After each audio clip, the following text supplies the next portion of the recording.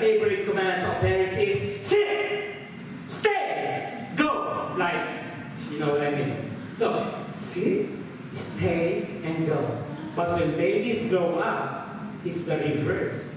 It's the children telling the parents, sit, stay, go. If you know what I mean, isn't it? Alright, so going back to this one. Craving is different from being hungry because hunger can be satisfied by any food, isn't it? If you're fasting or if you are, uh, whatever, you're hungry, you need some meal, and then whatever on the table, then you will grab it. But craving is a different one. You want a specific food to eat in order to be uh, satisfied. So, um, when you are a baby, I usually recommend, um, when you're Christian, I usually recommend to read from John, John, the Gospel according to John.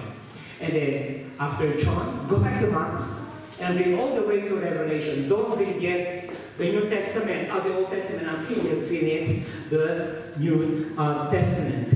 Then you will notice that you will grow in the right way. All right? And your growth will not be hampered by anything. Now, the problem is when you are already growing, some to say that some Christians are being taught incorrectly with wrong doctrines. I'm talking of uh, cultic uh, religions. But we are after the right doctrine so that you will be, we are attending uh, to a church where the doctrines are right, everything is taken from the Bible, it's not in the opinion of the pastor or the preacher who, or whoever, because important doctrines are very important. There's a saying that goes, wrong doctrine, wrong life. You know what? And I also heard that it's a cultic religions. I won't mention any cultic religions anyway. And uh, there's something like that says, um, if you are attending a cultic or false religion and you're being taught and fed with that wrong teaching, then you will end up not in heaven, not going in heaven, but ending up, you know, going to hell.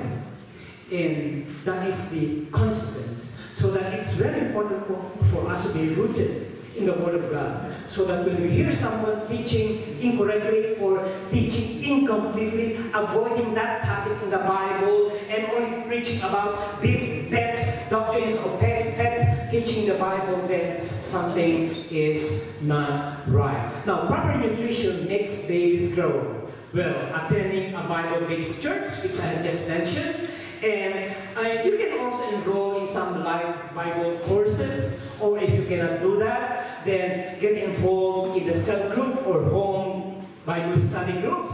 And read, start reading the Bible, and of course, Christian books.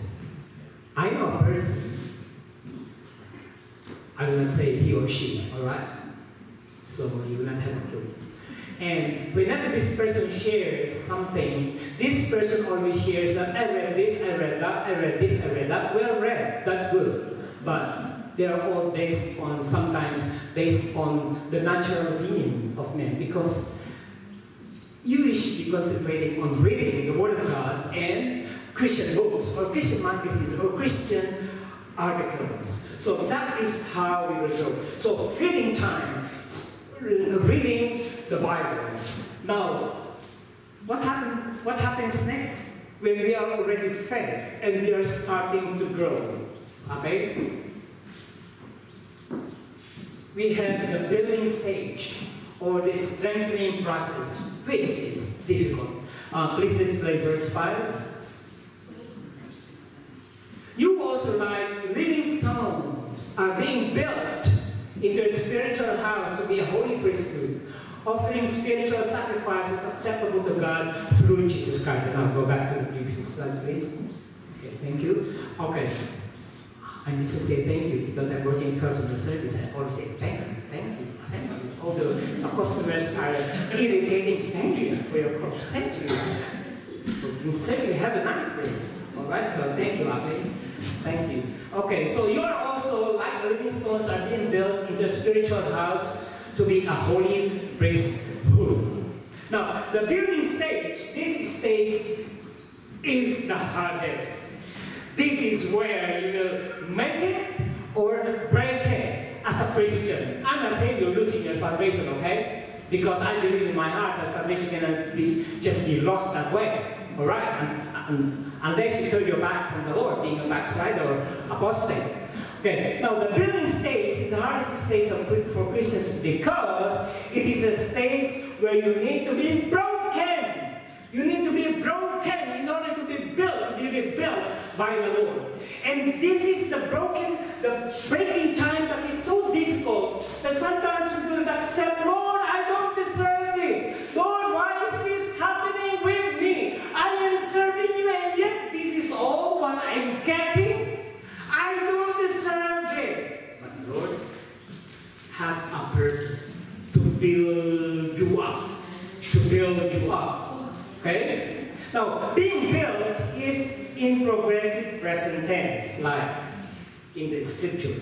It means he has built you already, or he will build you in the future. But this is something continuous, being built by the Lord, and we are changed from 2 Corinthians 3.18, it's not there. We are being changed by the Lord from glory to glory. It simply means that the Lord is not through with us yet. There's a little bit of trimming on the right hand side, you know, the belt bulges here, on the left hand side, uh, pruning unwanted attitudes, scaling off old habits and personalities to become a better person, reconstructing also a new one, that we are like diamonds in the sight of God, that a diamond stone, a rose stone, a raw diamond stone, is not as bright as that, it's not glittery as that, because it has to be scaled and trimmed into perfection before it becomes a 35 carat diamond that is so expensive. So that is the stage where you are, the Lord is trying to mature you, building you up. When I got born again, I shared this already, but and then this those who forget that when I was saved in the Lord, all prayers are answered. I would just say, Lord, let the rain come. It means, yes, God signal. And it happens.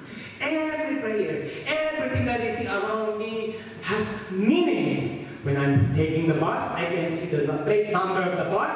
I can put meaning into that. And the following Sunday, I'll go up, sharing time, sharing time. I saw in the bus this number, and for me, that the Lord is speaking about this number and those things like that.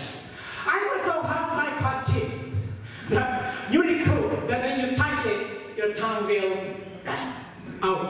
isn't it? So um, those, but then again, after a few months, after a few years, even until this time, the building stage is not done yet.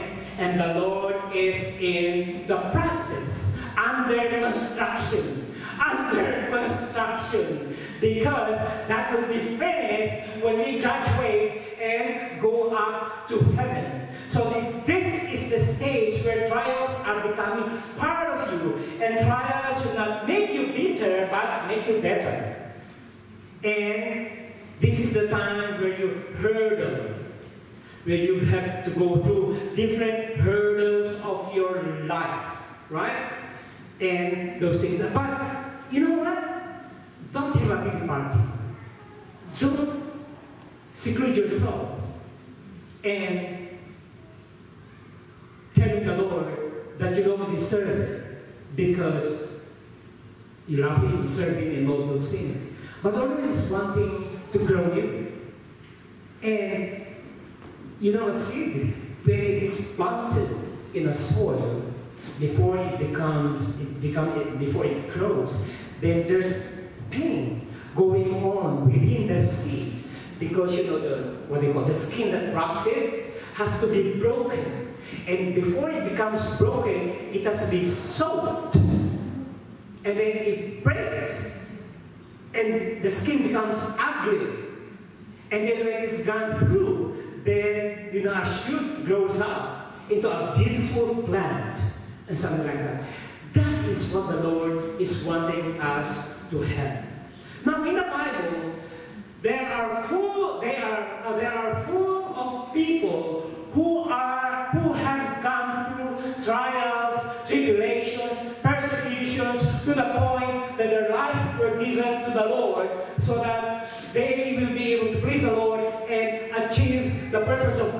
that God wants them to have. Like, for example, Abraham. Abraham lost his son Isaac, almost lost his son Isaac in Mount Moriah, and and we know the story about Abraham, it? When he was about to sacrifice Isaac, and then the Lord, uh, the angel of the Lord, stopped him and provided a ram. That's why God was called the Lord who provides for um, Jehovah Jireh. And that hurdle, that test, I don't think I would, uh, I, can pass the test when it says that, can you give your sacrifice your children for me?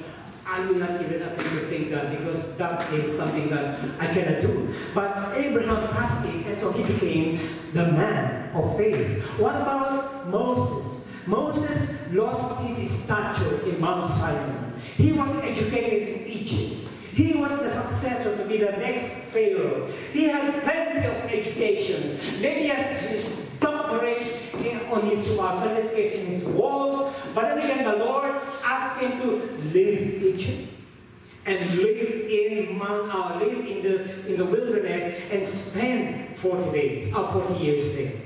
And while living in 40 years there, then becoming a shepherd, an heir to the throne, becoming a shepherd, that is hurting. That is so much trial. And considering that when the Lord called him, he could not even speak properly because he was a stutterer. And so Aaron helped him. And what happened?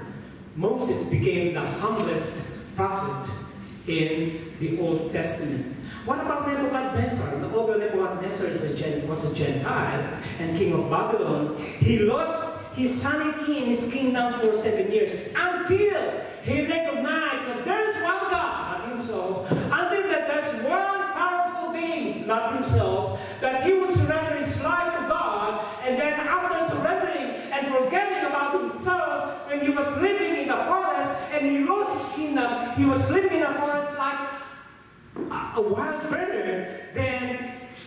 kingdom was restored, his sanity was restored, and he became king again.